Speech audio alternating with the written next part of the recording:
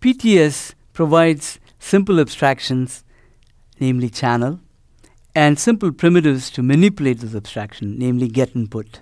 And these channels can be anywhere in the distributed system, just like Unix sockets. These are named entities that are network wide unique, and therefore you can have a large scale distributed computation in which channels exist everywhere, and you can discover them and connect to them and do I/O on them using get and put. All the heavy lifting, that is, the system's work that needs to happen in order to support this channel abstraction and the operations that you do on the channel abstractions, like the get and put operations, are all managed under the covers by the runtime system of PTS.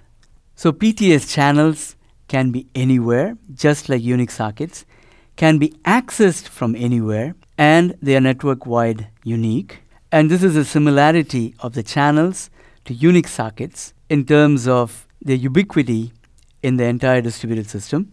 But what makes PTS channels particularly attractive for situation awareness applications is that the runtime system and the APIs provided for manipulating the channel treats time as a first class entity. What we mean by that is time is manipulatable by the application in the way it specifies items to the runtime system and it queries the runtime system using time as the index into the channel. And that's what is unique about the PTS channels.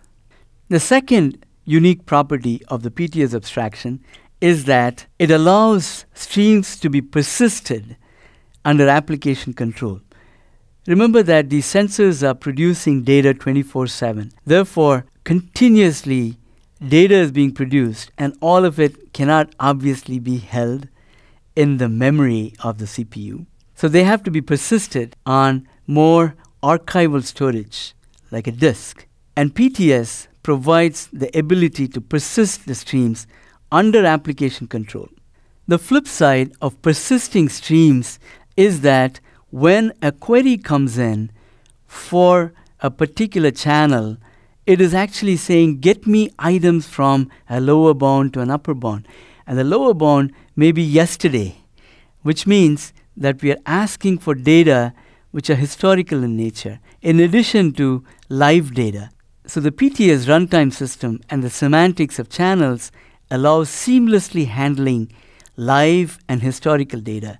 The primitives are just get and put, whether we are accessing data that is current or historical. You give a lower bound marker and an upper bound marker, and the runtime system gets to work in doing whatever heavy lifting that needs to be done to bring the data that you're looking for between the lower bound marker and the upper bound marker. So that's the power of the PTS channel primitive. It is simple to use, but at the same time, it provides handles that will make the life of the domain expert that is developing a situation awareness application so much easier because it allows time to be manipulated as a first class entity recognized by the programming system.